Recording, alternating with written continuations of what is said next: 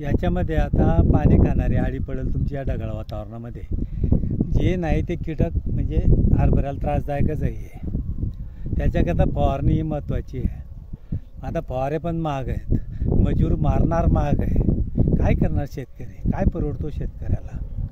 हे आपलं एक कोरडवाहू हरभरा लागवड केलेली आहे हो? कोरडवाहू आहे.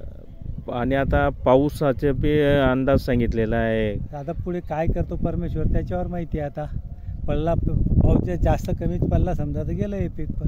गेलं. हां पहिलं मुक्ता मुक्ता आलाच नाही.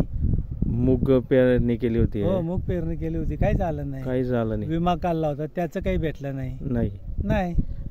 शेतकऱ्याला फक्त मेहनत करावं मेहनत करायची वाया घालवायची. हो. दुसरं काय लागतं आता हे बारा बारा हजार रुपये क्विंटलचं बी आहे. हां हां मग एक क्विंटल वीस किलो बी लागलं या शेताला. काय का चौदा हजाराचं? आणि फवारणी वेगळी. फवारणी वेगळी अजून निंदणारे वेगळे. फवारणी मारणाऱ्यांचा तो रोज वेगळा. हां. मग सात ते आठ पंप मारतात. बरोबर. मग अडीचशे तीनशे चारशे रुपये रोज मागतात. काय परवडणार शेतकऱ्याला हो? आणि फवारणी खतं वगैरे सगळं महाग मग मग सगळंच महाग झालेलं आहे ना. तुमची खतं महाग झाली युरिया महाग झाली डीएपी महाग झाली. काय स्वस्त आहे? शेतकऱ्याला काही स्वस्त नाही दादा. आणि जोपर्यंत घरात पीक येत नाही तोपर्यंत शाश्वती नाही. शाश्वती नाही. आम्ही नाही की हे येणारच आणि मी एवढा घेणारच. याचं शाश्वती नाही. तोंडात आलेला घास एखाद्या टायमाला हे डिब्या उडून जातात या एवढं वादळ पण येतो एखाद्या टायमाला. बरोबर कापलेल्या डिब्या या शेतातून त्या शेतात.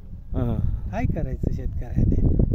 शे- शेतकरी हा फक्त निसर्गावर अवलंबून. निसर्ग निसर्गावर बस अवलंबून. बस बस, तो ठेवेल तसं राहील हा, भाव काय मिळतो त्याचं काय ती- ती अजून गॅरंटी नाही तो तर पुढचा प्रश्न आहे अजून भावाचा. भाव काय? व्यापारी ठरवल तो भाव शेतकऱ्याला. हो, बरोबर. शेतकऱ्याचा कुठे उत्पादित भाव आहे? नाही. नाही.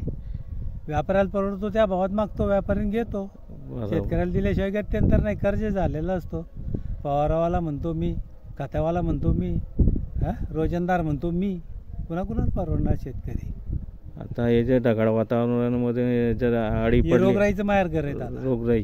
हा रोगराईचं माहेर घर आहे. पिकांवर रोग येणार आहे. हो, फवारणीचा खर्च वाढेल. फवारणीचा खर्च वाढणारच. वाढणार.